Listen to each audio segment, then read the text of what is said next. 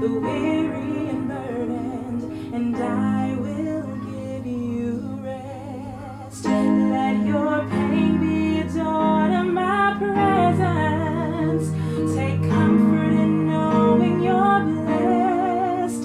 He said, Follow me, take up a cross with me, you shall have peace.